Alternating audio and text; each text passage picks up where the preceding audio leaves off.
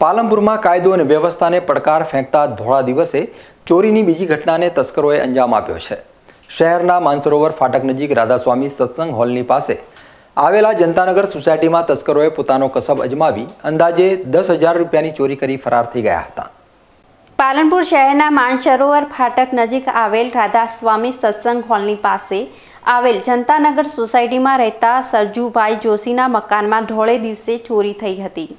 પરિવારના મોભી અને દીકરો કામ અર્થે બહાર ગયા હતા. તેમજ પત્ની ઉપરના માળે કચરા પોતા કરવા ગયા હતા.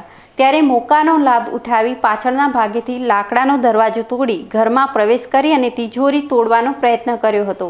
પરંતુ તિજોરી ન તૂટતા બાજુમાં પડેલ તિજોરીમાં રહેલ રોકડ રકમ દસ હજાર રૂપિયાની ચોરી કરી ફરાર થઈ ગયા હતા. આમ ઉપરાઉપરી ચોરીની બીજી ઘટનાને લઈ પોલીસ દોડી આવી હતી અને ગુનો નોંધવાની તજવીજ હાથ ધરી હતી. હા હું આ બહાર જતી હતી ઉપર જતી હતી કચરા પોતા કરવા. પછી એ મારી બેનપડી બેઠી હતી એટલે હું બહાર વાતો કરવા બેસી ગઈ. આ ભાઈ હોયથી આવ્યો ખાડામાં હતી અમે જોયો જાતે.